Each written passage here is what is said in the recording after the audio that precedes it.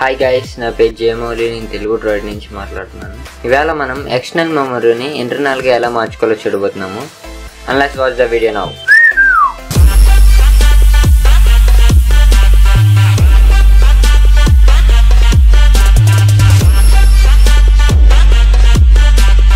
okay guys అది మనకి ఇన్బుల్ట్గానే ఒక ఆప్షన్ ఉంటుంది సెట్టింగ్స్లో దానికి ప్రత్యేకంగా యాప్ ఏం అవసరం లేదు.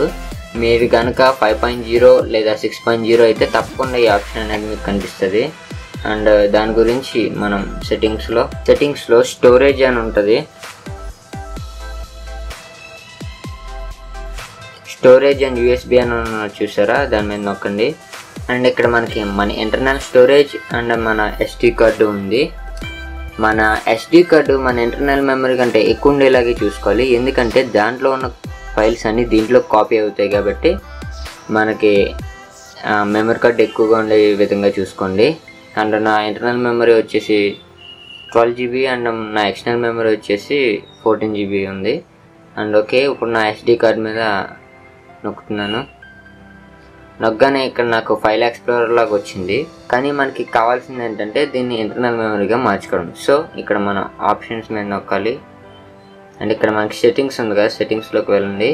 అండ్ ఇక్కడ మనకి అది ఓపెన్ చేయగానే settings exit format format as internal అని ఉన్నది.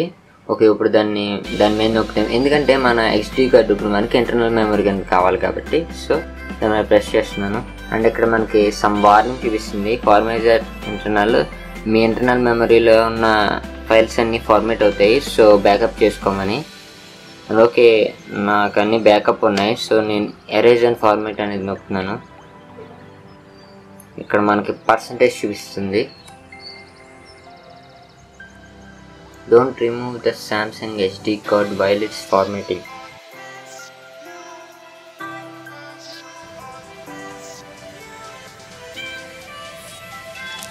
ఇక్కడ మనకి ఫార్మేట్ అయిపోయిన తర్వాత మనకి కొన్ని ఆప్షన్స్ చూపెడుతుంది.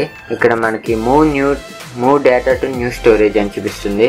ఇక్కడ మనకి మూవ్ నౌ లేదా మూవ్ లెటర్ ఇక్కడ మనకి ఎంత మెమరీ తీసుకుంటుంది అనేది కూడా చెప్తుంది. అదే విధంగా ఎంత టైం పడుతుంది అని చెప్పేసి. ఇక్కడ నేను మీకు చూపించడం అని చెప్పేసి మూవ్ నవ్ అని పెడుతున్నాను. అండ్ మూవ్ నవ్ నొక్కిన తర్వాత నేను ఇక్కడ నెక్స్ట్ అనేది నొక్కుతున్నాను.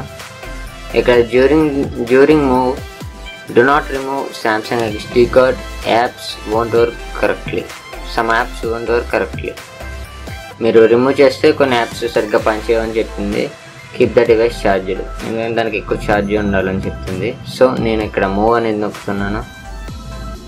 ఇక్కడ మనకి పర్సంటేజ్ అనేది చూపిస్తుంది.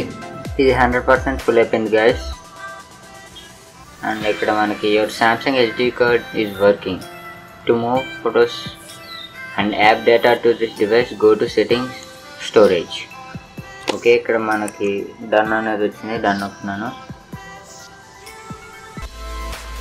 ఇక్కడ మనకి రెండు ఇంటర్నల్ మెమరీ కింద వచ్చింది చూసారా? ఇందాక మనకి ఎగ్జిట్ అనే ఒక ఆప్షన్ కనిపించింది.